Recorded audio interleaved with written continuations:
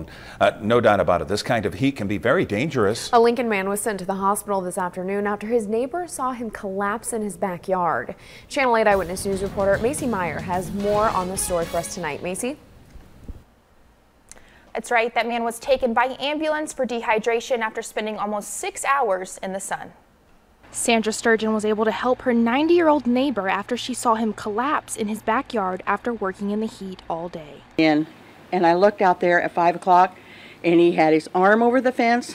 He was going down, and that's I called 911. Sturgeon said her neighbor had been working in his yard since 11:30 that morning. She tried to get him to go inside multiple times to drink water, but he just wouldn't budge. If he had just come out for a few minutes, that would have been fine. But he was out there probably, oh gosh, five or six hours.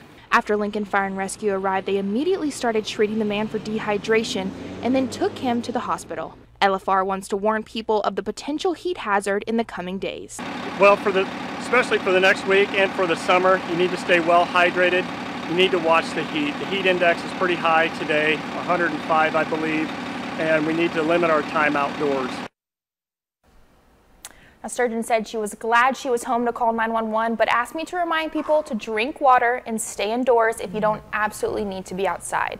She doesn't want this happening to anyone else. Yes, I mean, he's so lucky that a great neighbor was watching out oh, for him. Yeah. So thank you, Macy, for the story.